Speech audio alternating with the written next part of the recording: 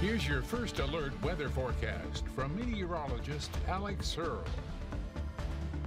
So Alex, we were talking a little bit earlier about the first alert weather day tomorrow.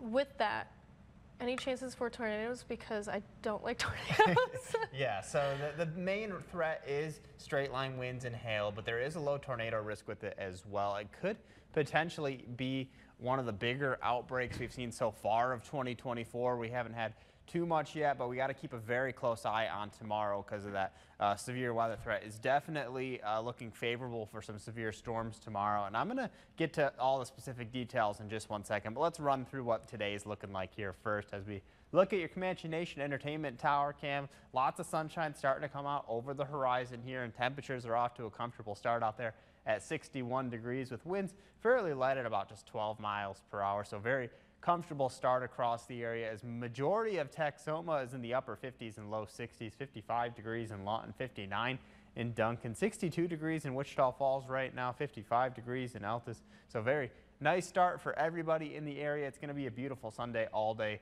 long, so get out and enjoy that nice weather.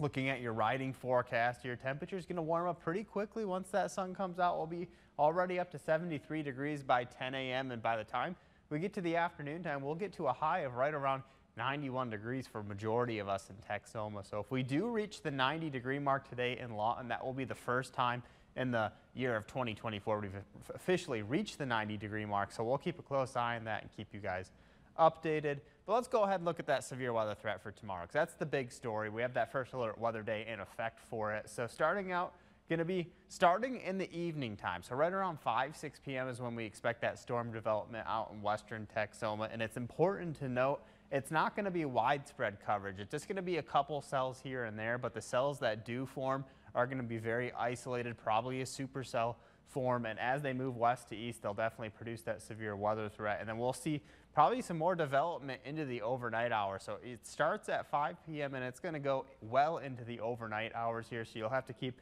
uh, those weather alerts on and have multiple ways of getting those weather alerts in case you do go to sleep in the overnight hours there. You will want to make sure to keep an eye on that weather with the severe weather threat still persisting. Eventually, the storms will move out, and by about 6 a.m. on Tuesday morning, those storms will clear out of the area. So uh, it's going to be an overnight event mostly here in Texoma. The enhanced risk for severe weather is going to be out in western portions of Texoma. Then that slight risk for severe weather uh, encompasses the rest of the viewing area here. So everybody in the area could see a pop-up storm or two tomorrow night going into Tuesday morning. And it's just going to be uh, dependent on where the, the specific locations get those storms. We'll keep a very close eye on that and of course keep you guys updated on that as well here. Let's go ahead and look at the threats for tomorrow. So it's going to be mainly a wind and hail event. I have up to uh, 60 to 80 mile per hour winds possible and up to baseball sized hail. There is a low tornado risk. It's definitely not a zero risk. So that is also going to be something that is